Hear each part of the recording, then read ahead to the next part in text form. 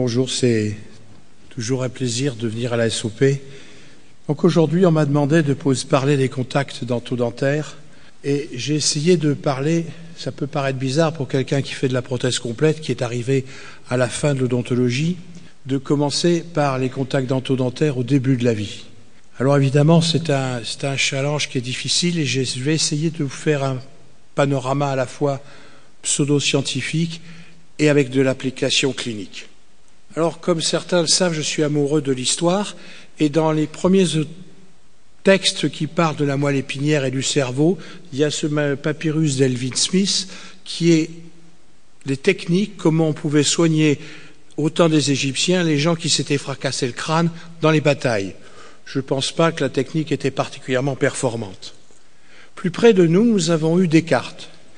Descartes est intéressant parce que c'est le premier qui est un petit peu montré ce que c'était qu'un réflexe. Il explique que si vous mettez votre pied pas très loin du feu, vous allez avoir des sensations qui vont passer par la moelle épinière et qui vont atterrir au cerveau. Et Descartes dit, quand c'est atterri au cerveau, eh ben vous allez pousser votre pied pour avoir moins mal. C'est un peu caricatural, mais c'est un des premiers. Et puis, beaucoup plus près de nous, nous avons Ruffini, qui va être en réalité l'objet de toute ma conférence. Ruffini, il, a commencé à travailler dans cette université de Bologne, qui a été la première université en Europe. Elle a été fondée en 1088.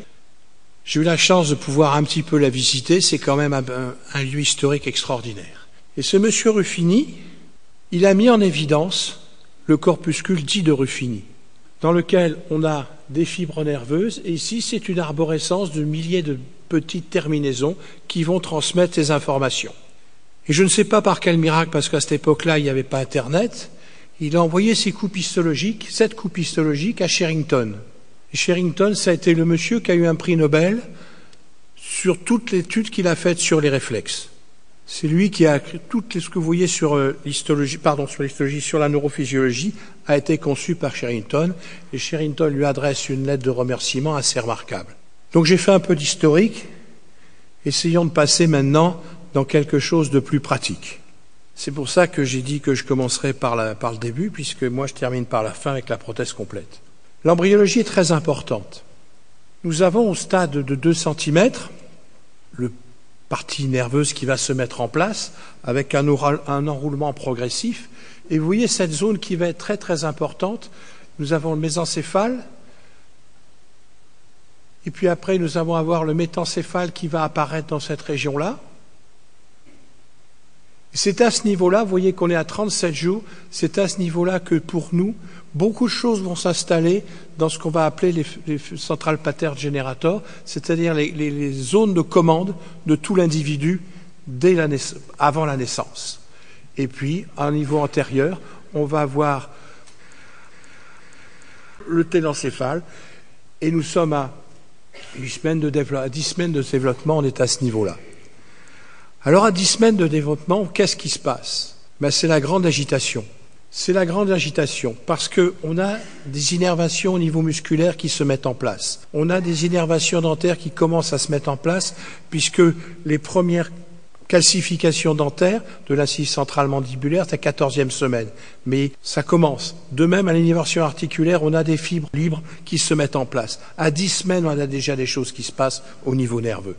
Ce qui va nous expliquer qu'on ait des mouvements de succion, de déglutition, de phénomènes au niveau de l'ouverture buccale, du contact main-face, mais surtout ce qui va plus intéresser, nous, c'est succion et déglutition et mouvement de, respiration. Parce que c'est là que tout va commencer.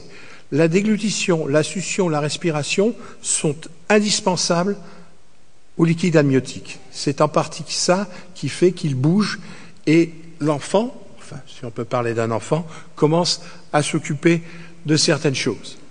Tout au long de l'évolution intra-utérine, nous avons toujours ce mouvement succion, déglutition qui s'installe. Et puis un beau jour, il y a la naissance qui arrive, bien sûr, et ça va se suivre de trois événements considérables. Le premier passage, c'est le passage de milieu amniotique à la respiration. On s'en souvient pas, mais je pense que si on pouvait mesurer, ça doit faire un énorme choc. Vous étiez dans l'eau, vous passez au sec, les poumons s'ouvrent, parce que nous avons ces systèmes nerveux automatiques qui disent il faut que les, poumons fonctionnent. Ensuite, on a l'alimentation.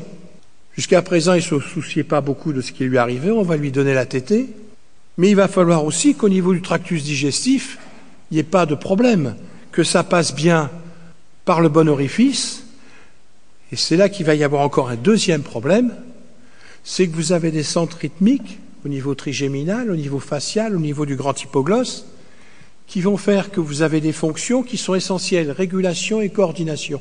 Régulation et coordination de quoi? De la succion, de la déglutition et de la respiration. Et tout ça, ça a été conçu à peu près au niveau de la dixième semaine intra-utérine, au moment de la formation du système nerveux central, développement du système nerveux central, tel que je vous l'ai montré tout à l'heure.